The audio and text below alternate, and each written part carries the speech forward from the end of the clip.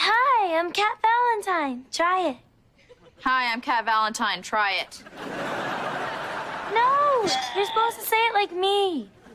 Okay, uh. Hi. I'm Cat Valentine. Simple things confuse me. Ding dong.